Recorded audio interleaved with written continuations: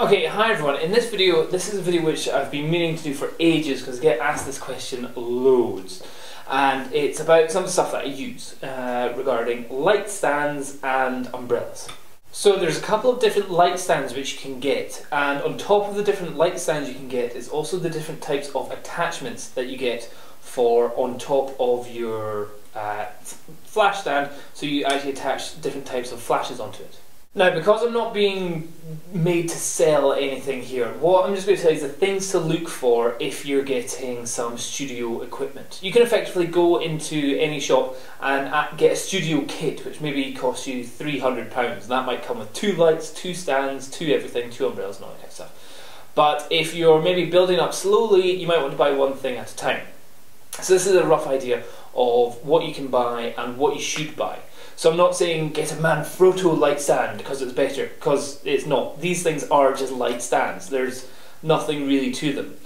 But what I would say is you want ones which this bit comes down like that. That gives you as much height as possible. So once that's down there, this one's got three parts which go up to the top one. That goes up to there.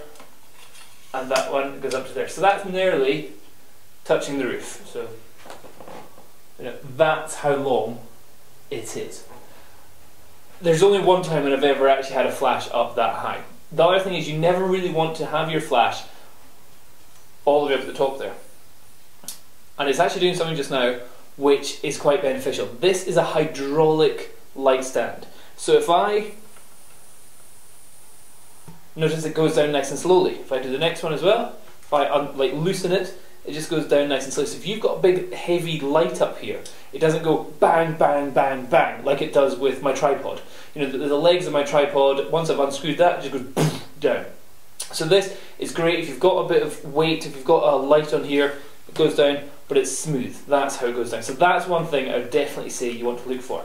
What I was also getting onto before I went on to that is you never really you should never really have your light stand fully extended. So having it right there, you've only got a tiny little bit of metal in there.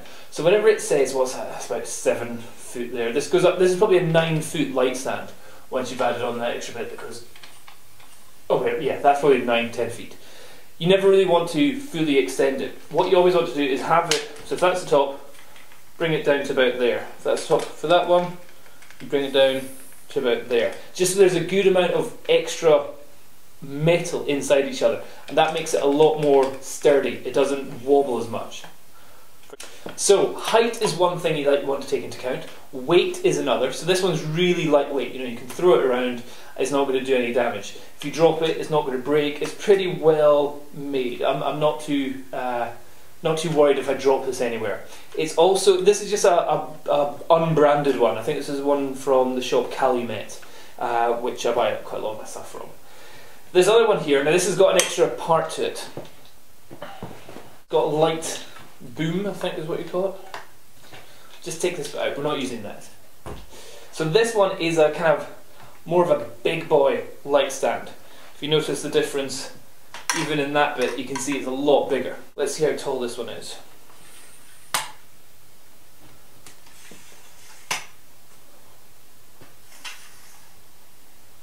Okay, and that one's touching my roof already, and I've still got. Hold on. Go on. So yeah, anyway, this one's super. Oh right, this one's super long, and uh, so means you can get it really high up. Again, you're never really going to have your lights up there, but it, what it means is it's really nice and sturdy. Again, it's coming down nice and slowly. So if you have any lights, mm, that wasn't quite as slow. This one much better, much more smooth. So if you've got any weights on here, it just doesn't smash it down. But with the bigger ones that you get, you have a wider stand at the bottom. So that can be, if you need even more height, that can be if you want it a little bit shorter, but that is a nice big wide stand. And there's a reason why you might want ones which have a wider stand, and that's if you're using a bigger umbrella.